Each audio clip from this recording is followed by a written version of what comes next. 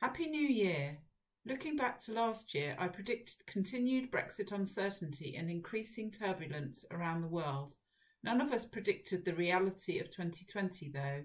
The challenges led to many social enterprises having to close their doors, both temporarily and permanently. Adapting to changing situations and challenges is where our sector thrives, though. I salute every business for facing challenges head on with vital support for many communities. I remain confident that we can unite, leading the way in creating a stronger and fairer world. Looking back over 2020, we wanted to pick out some highlights which we think set positive markers for the future. In March, we celebrated our 10th anniversary with a reception at the Wesley Hotel in London, which was one of the original social enterprise mark pioneers.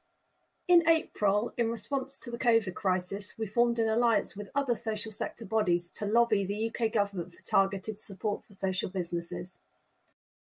We also announced measures to support our network through the crisis, including a temporary relaxation of assessment requirements and the option to freeze licenses. In May, the Save Our Social Enterprises campaign was launched, which received the support of over 1,000 businesses and led to a further 85 million in financial support for social enterprises being announced by the government.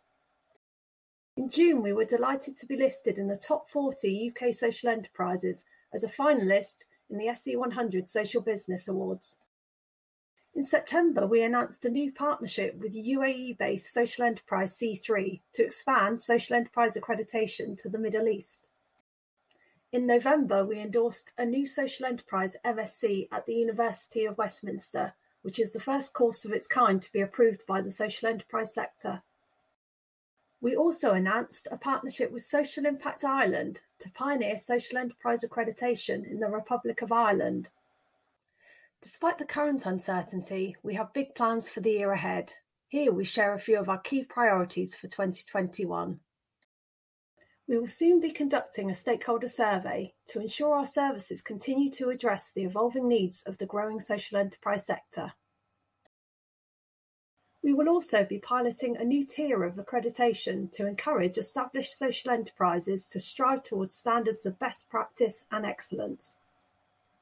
Influenced by responses to our stakeholder survey, we will be refining our values and strategy to focus on our strengths.